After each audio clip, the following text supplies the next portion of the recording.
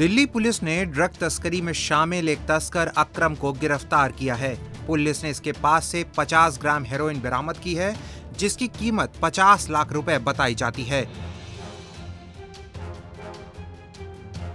Lockdown में नौकरी जाने के बाद से अक्रम बेरोजगार चल रहा था। अपनी और परिवार की जरूरतों को पूरा करने के लिए ये ड्रग्स तस्करी के धंधे में उतर आया।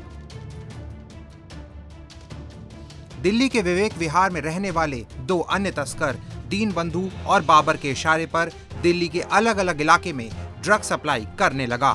पुलिस को गुप्त सूचना मिली थी कि अक्रम कार के ज़रिए उत्तम नगर वेस्ट मेट्रो स्टेशन के नज़दीक हेरोइन की डिलीवरी देने आने वाला है। इस आधार पर पुलिस ने संभावित जगह पर जाल बिछाया और मौका मिलते ही इसे धर दबोचा। पुलिस ने ड्रग तस्करी में इस्तेमाल एक कार भी जब्त कर ली है।